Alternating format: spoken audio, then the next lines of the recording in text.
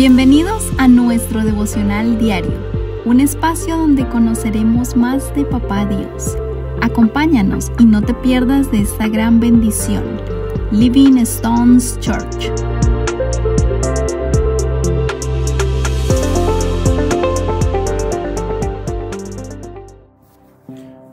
Hola querida familia, el día de hoy eh, tomaremos como base Efesios capítulo 4 versículos del 1 al 16 para la meditación de hoy.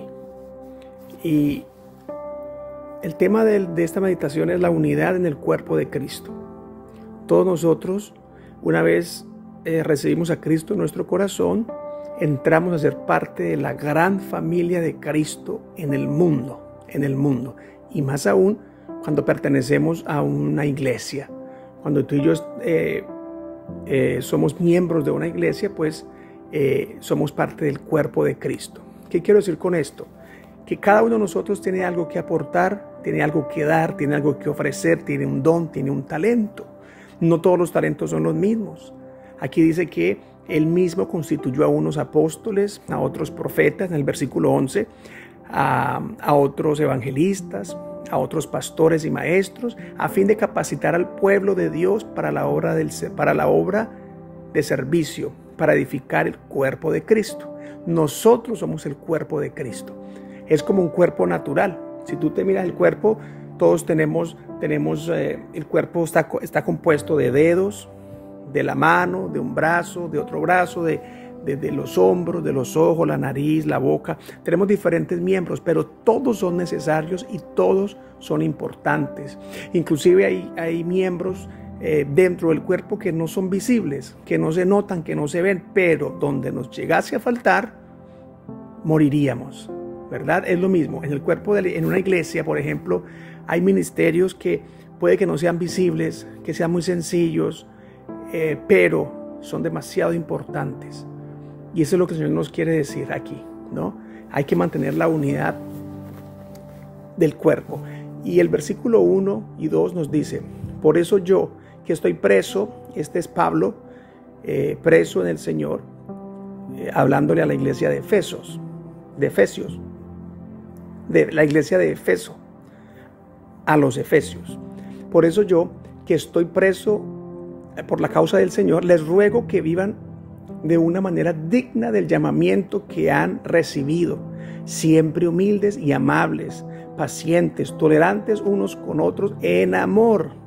Versículo 3, esfuércense por mantener la unidad del Espíritu mediante el vínculo de la paz. Hay un solo cuerpo y un solo Espíritu, así como también fueron llamados a una sola esperanza, un solo Dios, una sola fe, un solo bautismo, un solo bautismo, un solo Dios y Padre de todos, que está sobre todos y por medio de todos y en todos. Y el 7 es lo que les decía, pero a cada uno de nosotros se nos ha dado gracia en la medida en que Cristo ha repartido los dones. Todos tenemos dones y talentos. Todos tenemos algo que ofrecer, todos tenemos algo que aportar al cuerpo de Cristo. Entonces mi llamado en esta hora es a que tú pongas al servicio del Señor el don que tú tienes. Puede ser el don de servicio, el don de mi madre, por ejemplo. Ella eh, no, no, tiene el llamado de, de, predicar, pues de predicar con micrófono en una iglesia, pues una prédica. No, no tiene ese llamado.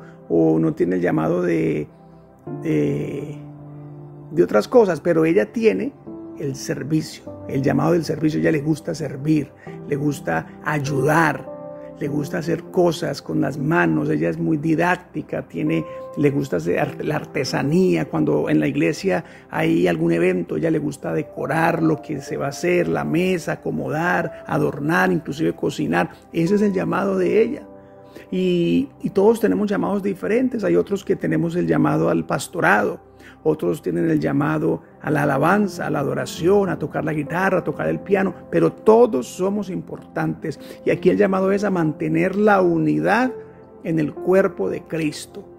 la unidad, todos somos iguales, todos somos importantes, todos valemos lo mismo delante del Señor, aunque desempeñemos roles diferentes dentro del cuerpo de Cristo. Entonces debemos ser siempre humildes y amables, pacientes, tolerantes unos con otros en amor, mediante el vínculo de la paz. De tal manera que al vivir la verdad con amor, creceremos hasta ser en todo como aquel, esto lo dice el versículo 15, como aquel que es la cabeza, es decir, Cristo. Y el 16, por su acción todo el cuerpo crece y se edifica en amor, sostenido y ajustado por todos los ligamentos según la actividad propia de cada miembro. De manera que debemos crecer como iglesia de una manera saludable todos los ligamentos ayudan a que el cuerpo crezca y crezca y crezca de una manera saludable en unión, sin ningún tipo de inamistades, de rencores, de envidias. Nada de eso debe permanecer en el cuerpo de Cristo porque entonces el cuerpo dejará de crecer de una manera saludable y crecerá más bien como, como un fenómeno. Por lo tanto, debemos asegurarnos que estamos creciendo saludablemente en el cuerpo de Cristo. Llámese iglesia o llámese hermanos de la fe eh, en, donde nos encontremos, porque nosotros somos dentro de la iglesia, la iglesia es un cuerpo, el cuerpo de Cristo, pero aparte de la iglesia pertenecemos al, al cuerpo eh, general del Cristo en el mundo, en la humanidad. Somos todos cristianos que hemos dado nuestra, nuestra vida y nuestro corazón al Señor, pertenecemos al cuerpo de Cristo y debemos dar buen testimonio a aquellos que todavía no pertenecen al cuerpo de Cristo. Que vean en nosotros la luz de Cristo, no solo dentro de la iglesia, sino también fuera de ella. Pero hablando en términos de iglesia, debemos entonces hacer todo lo posible para que la iglesia en la que nosotros estamos y pertenecemos crezca en unidad, crezca siendo un cuerpo de Cristo bien formado, bien nutrido, bien unido, porque esto es la voluntad del Señor. Oremos. Gracias Padre por este momento que me das, me permites de traer esta meditación, Padre. Yo te pido que esta semilla caiga en buena tierra y que dé mucho fruto, Padre. Y que motive a aquellos, Padre amado, que tienen dones y talentos, a que los pongan a tu disposición, Padre. No hay ningún talento, ningún don pequeño, grande, mediano, no. Todos son importantes, Padre, ante tus ojos. Señor, yo pongo en tus manos cada persona que va a oír este mensaje, Padre. Tócalo, toca su corazón, su mente y su ser, Padre amado. Te alabamos, te bendecimos y te glorificamos. Perdona nuestras fallas, nuestras faltas, nuestros errores, Señor, y ayúdanos a hacer tu voluntad. Haz de nosotros las personas que tú quieres que nosotros seamos, Padre. Y ayúdanos, Padre amado, a ser de valía, Señor, de valor en tu cuerpo, en el cuerpo de Cristo, y a fomentar, Padre amado, la paz, el amor, la armonía, la paciencia, la, tolerancia Señor, donde quiera que nos encontremos como hijos tuyos que somos, Padre. Muchas gracias, Señor. Yo te pido que tus ángeles, Señor, nos guarden, nos cuiden, Padre amado, que tu Espíritu Santo nos dirija, Señor, Padre, cada día y nos acerque cada día más a ti, Señor.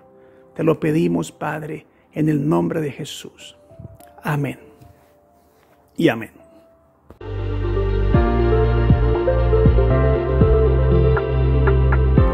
Gracias por acompañarnos en este día. Te esperamos en nuestro próximo devocional. Dios te bendiga.